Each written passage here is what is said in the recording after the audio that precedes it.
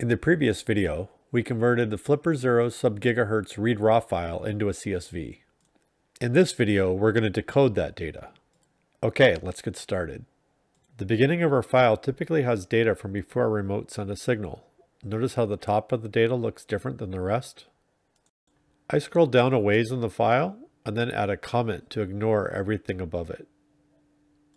The length of tone is in the first column, and the second is the silence, measured in microseconds.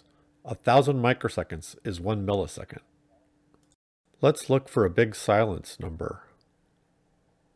There's one. Negative 12,000 is 12 milliseconds of silence.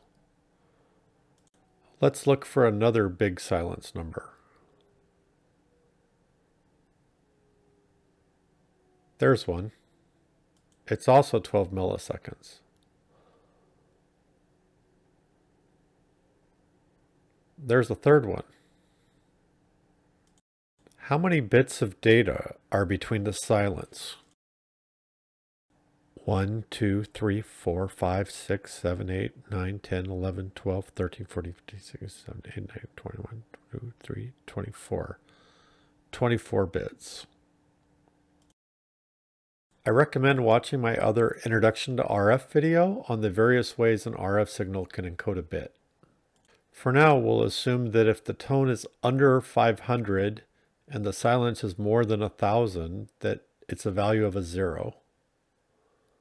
And if the tone is bigger than 1000 with a silence of less than 500, it's a 1.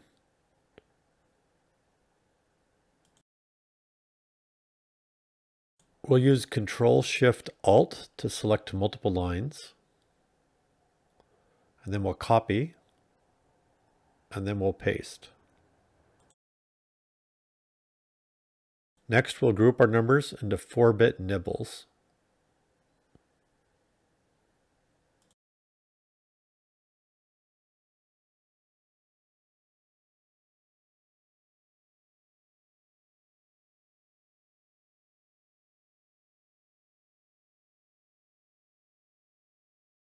Zero one one zero in binary is a value of 6. 0101 is a value of 5. 100 is 4. 1010 is 10, which is A in hexadecimal. This is A. A. At 0001 is 1. Our 24-bit code is 654AA1. In a previous video, we used the flipper read to create a subfile which had the following key. It looks like our keys match. Great job. It looks like our assumption of short tones being zeros and long tones being one paid off in this particular remote.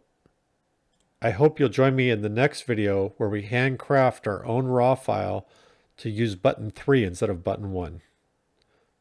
Thanks for watching. Hope you enjoyed this video. Please comment below.